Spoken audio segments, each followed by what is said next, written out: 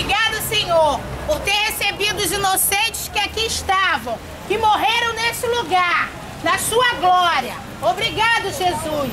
Obrigado, Deus. E é por isso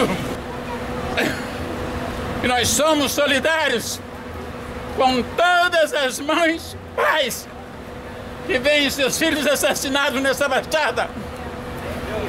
Que Deus nos ajude, nos dê a sua força, a força que deu a Maria, a força que deu às mulheres, para poder enfrentar essa situação.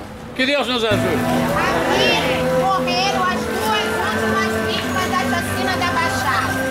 Aquele é a mãe de um. E nós vamos homenagear também o outro, que é o César, que a esposa não está aqui, mas nós estamos aqui para lembrar dele.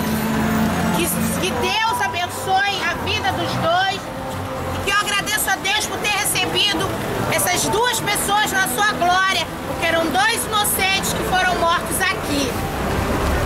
Eu agradeço.